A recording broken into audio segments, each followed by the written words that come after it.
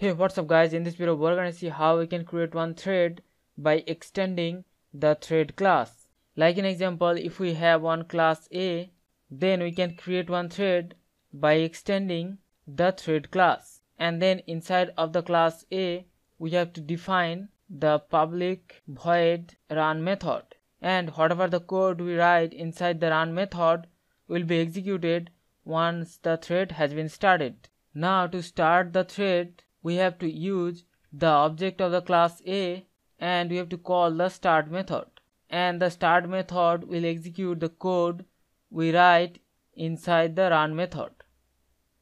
So in this example program we have one class A. Now we're gonna create one thread by extending a thread class to the class A. So I'm gonna write class A extends thread. Then we have to define the public void run method and whenever one thread has been started it should execute the code we write inside the run method and it should print thread started onto the console.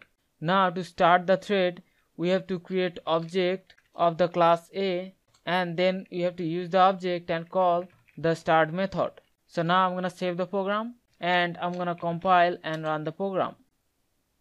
And you can see the output thread started. So to create one thread we have to extend the thread class and we have to define the run method inside the class and to start the thread we have to create object of the class and call the start method and by calling the start method it will execute the code we write inside the run method. So this is the way we can create one thread by extending the thread class in Java.